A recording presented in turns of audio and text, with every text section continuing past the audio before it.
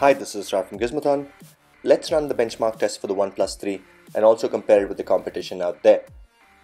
In terms of the specifications, the phone has a Snapdragon 820 chipset coupled with an Adreno 530 GPU and 6 gigs of RAM.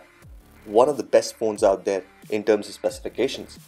In the Antutu test, Galaxy S7 scores roughly about 133,000, the Mi makes about 136,000, whereas the Le Max 2 makes about 138,000.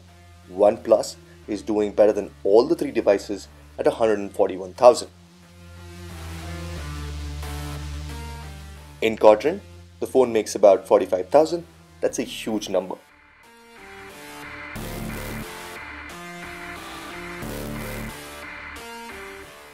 In Geekbench, the OnePlus clocks in about 5500, whereas the S7 rates about 5900. The Mi falls short in this by a small margin at 5300. In NenaMark II, this has to be 60 FPS, no doubts about that. In the Vellamo tests, Xiaomi Mi 5 makes a little over 6000, whereas the OnePlus 3 makes about 5600.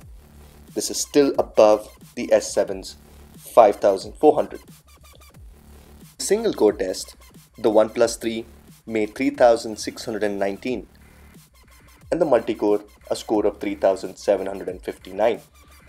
The phone did heat up a little after these tests, but it's not unbearably hot.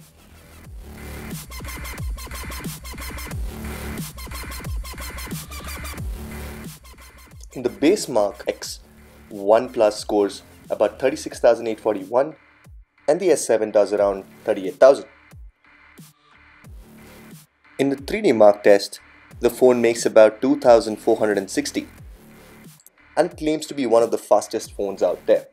And it definitely is. Benchmark test is not the best representation of the phone's performance, but it still gives a perspective. Thank you for watching. Do comment below if you have any questions. Please do like, share, and subscribe.